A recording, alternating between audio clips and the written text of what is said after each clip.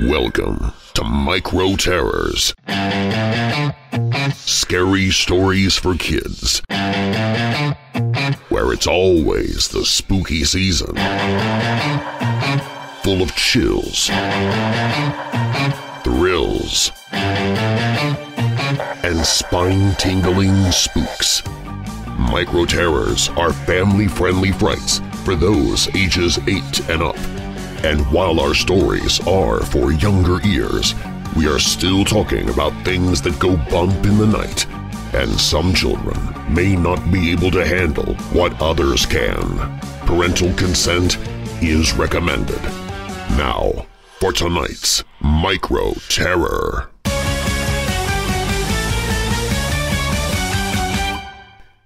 The Wolf's Paw The Criley brothers dreaded hearing the news. Their father, Ernest Criley, had been found dead next to the body of an immense, great wolf. The search lasted hours before the disturbing scene was uncovered. Ernest, who had shot the beast to death, was missing his head, yet victoriously gripping the severed claw of the wolf in his hand. It was Claude Alborn who brought the news to Ernest's two boys, Henry and Oscar.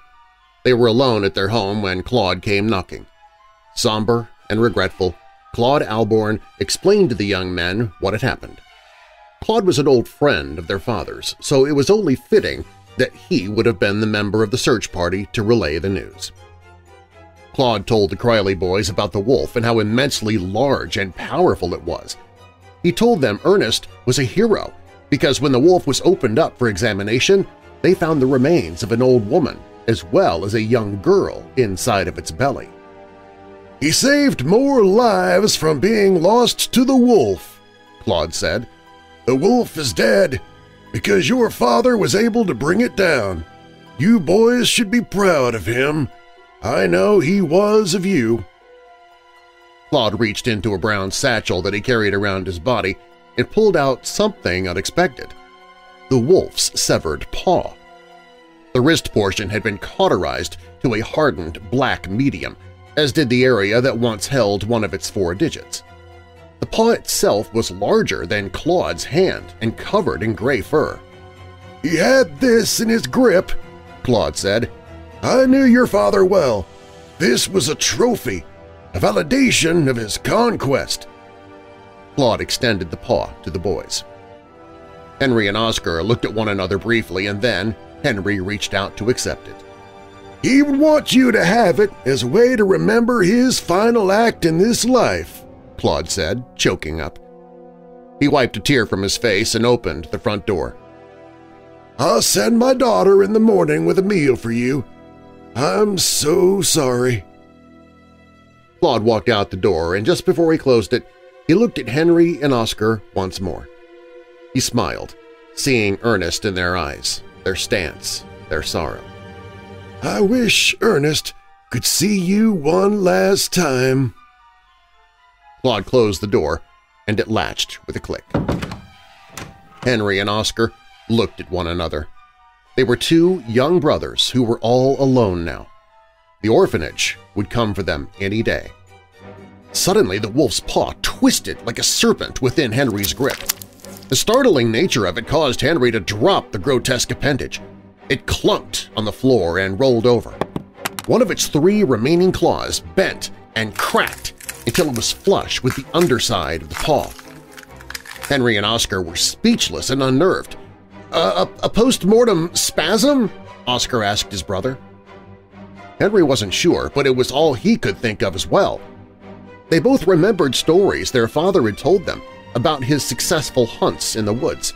Sometimes, even after death, there were still signs of life.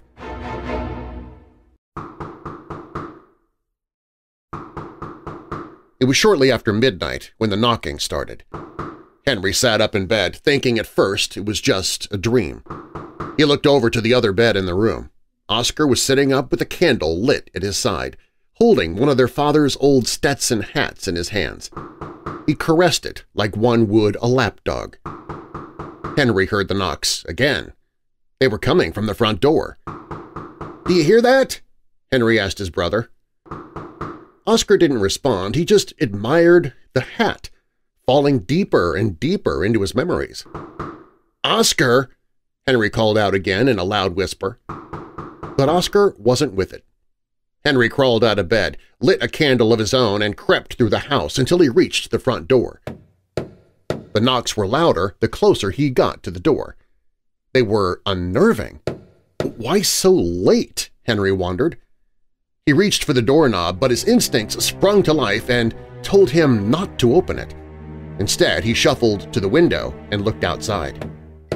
The night was darker than usual, as if to announce something strange and unnatural within its embodiment.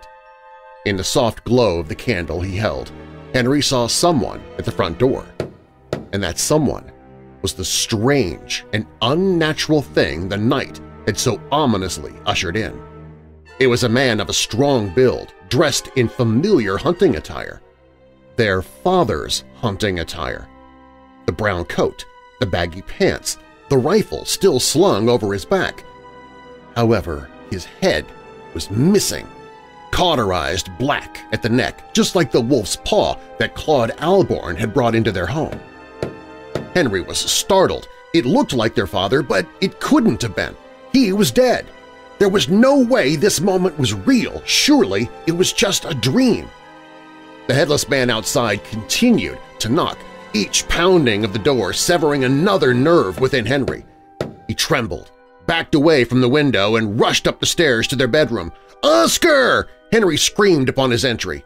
The urgency in his voice was enough this time to rip Oscar's attention away from the old hat. "'What?' Oscar asked, dazed but concerned. "'Father's at the front door!' Henry trembled. Oscar shifted himself to the edge of the bed. "'What do you mean? He's knocking on the door! His head is gone!' Oscar confused his brother's fear for sorrow. He nodded sympathetically. "'I miss him too,' Oscar said. "'I haven't been able to sleep all night. I've just been thinking about him and everything he'll miss out on, everything we'll miss out on.' Henry shook his head. "'No, I'm not out of sorts, Oscar. Father is here, at the front door. His head is missing, cauterized at the neck like that repulsive paw. Henry pointed to a small table opposite the beds where the wolf's paw lay, one of the digits still bent underneath it. A thought hit Henry at that moment. The claw had bent after Claude Alborn's departure. The last thing Claude said was that he wished their father could see them one more time. A wish! The claw curled after the wish, and that wish had now come true. Their father had come. "'The paw!' Henry screamed, rushing for the cleaved limb. He grabbed it and held it in his hand, shaking it at Oscar. "'This paw is cursed! The stories of those woods are true! This thing is evil!' Oscar stood from his bed and faced his brother. Both of them went silent, and then Oscar heard the knocking too. They were loud and reverberating through their small home. Oscar didn't know what to make of it. There, there has to be an explanation, Oscar said, something real and, and not of the arcane. Those woods where Father hunted, you've heard the stories, Oscar, the magic, the evil that lurks within them. Oscar knew of the stories. Everyone in their sleepy little valley did. The woods were tainted by a darkness that few understood. It was and had always been part of the land they lived on. "'Father!' Oscar said in a breathy exhale. Henry could see his brother's expression go from confused to curious. There was almost a sense of relief in his stare. Henry shook his head. "'It's father, but he's all wrong,' Henry said. The knocks grew louder with each strike. "'He's undead, a spook!' "'But you're sure, sure it's, it's him?' Oscar asked weakly. Henry could tell his brother wasn't grasping the severity of the situation. It wasn't their true father at the door. It was a spectral spawn, an evil, unnatural resurrection that shouldn't be. The knocks were now more frequent, louder, and bolder. They became almost demanding of an answer, commanding the boys to let the obscure entity in. Henry couldn't take it anymore. He held the paw out in front of him and said, I wish Father to rest in peace, to leave our plane and return to his. The knocks continued, and the paw remained idle. Henry was sure it would have worked. His eyes widened, his lips trembled, and his heart began to beat so fast that his chest felt pain. But then, abruptly, the knocks stopped. The silence that invaded their home now was overwhelming. Henry felt the paw writhe within his grip. The brothers watched as another one of its digits bent and cracked like snapping bones until it folded against the bottom of the paw. One claw now remained. Henry and Oscar breathed heavily, calming their nerves the best they could. Henry sat the paw down at the table and picked up his candle. He needed to make sure the ghoul at their front door was gone. "'Come on,' he instructed his brother. Creeping slowly and cautiously through the house, the wooden floor creaked underneath each footstep. Henry was the first one to reach the window. He peered out into the inky night, and within the glow of his candle he saw nobody. Their headless father was gone, finally at rest. "'He's gone,' Henry said to his brother, breathing a trembling sigh of relief. He turned around to comfort his brother, only Oscar wasn't there. "'Oscar!' Henry stepped away from the window and into the main room of their home. "'Oscar!' Oscar came out from the bedroom, holding his bedside candle and looking mournful, possibly even remorseful. In his other hand was the wolf's paw. The third and final claw was now bent. Henry went numb with fear. And then the knocking started again.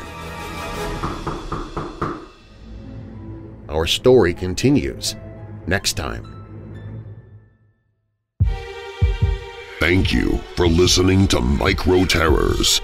Join us each Saturday for another scary story.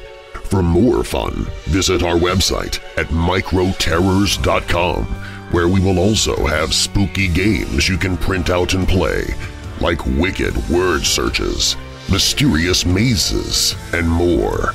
Microterrors.com is also where you can find us on your favorite social media and even send in your own scary story for us to tell. Plus, you'll learn more about our author, Scott Donnelly, who has other horrors for both young and old. I hope you'll join me again soon for Micro Terrors, Scary Stories for Kids. Hey Weirdos! Be sure to click the like button and subscribe to this channel, and click the notification bell so you don't miss future videos. I post videos seven days a week. And while you're at it, spread the darkness by sharing this video with someone you know who loves all things strange and macabre. If you want to listen to the podcast, you can find it at WeirdDarkness.com listen.